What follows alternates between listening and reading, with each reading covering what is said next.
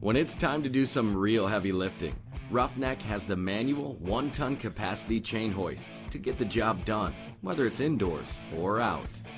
There are two models to choose from a 10 foot lift with 118 inches of chain, and a 20 foot lift with 236 inches of chain. Both models feature steel casting housing, all steel construction for durability and wear resistance, grade 80 chain,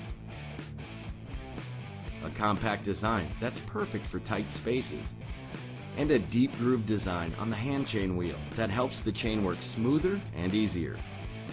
High strength locking fasteners on the hooks secure both the hoist and its cargo. A reliable automatic double pawl braking system provides an added level of safety.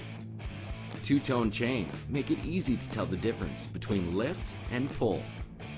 The lift chain has a black finish that's durable and rust resistant, while the pull chain is zinc plated to resist rust. Both manual chain hoists are tested at 150% capacity, so you can be sure that the work that needs doing is going to get done.